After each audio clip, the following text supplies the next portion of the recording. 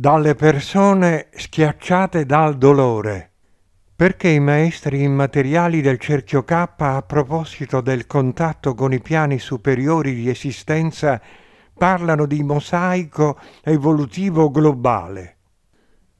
Commento. Perché se non si accettano 1. Gli illusi che credono di essere medium, 2 i medium genuini che commettono frodi inconsapevolmente. 3. I medium genuini che commettono frodi consapevolmente. 4.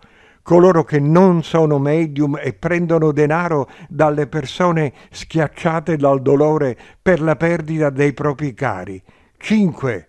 Se non si accetta tutta questa realtà insieme a quella di Cenacoli che per decine di anni, attraverso grandi strumenti, sono protagonisti di grandi insegnamenti e di imponenti fenomeni affettivi e fisici, non si comprenderà mai il mosaico globale attraverso cui la legge d'evoluzione impone progressivamente la sua logica divina e quindi perfetta.